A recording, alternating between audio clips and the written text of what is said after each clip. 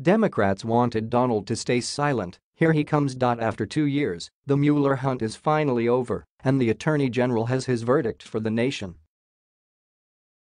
He is refusing to release the full report for now, although Democrats like Bernie Sanders are begging for the full text to parse every detail. Fat chance of that. I couldn't wait to see what Barr said, we've all been waiting for two years. Turns out it was even better than I imagined. Check it out.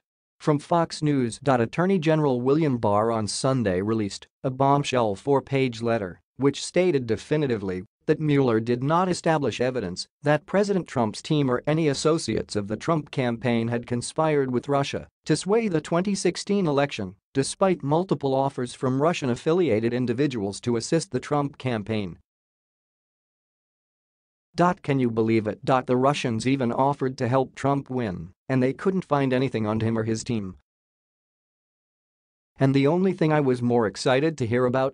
Donald's reaction. President Trump was surprisingly quiet over the weekend, but when Barr's report came out, he was quick to blast out a triumphant tweet and keep it on a positive note.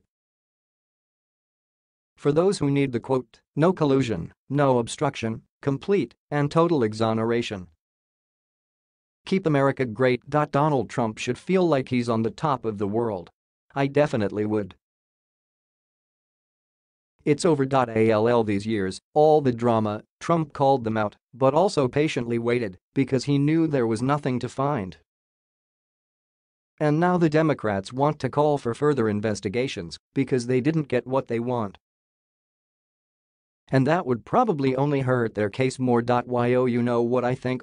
President Trump's chances for re-election just went through the roof. With a strong economy, the incumbent president just knocked down the biggest roadblock to another four years. I'm sure he's ready to get back to work this week for us, the American people.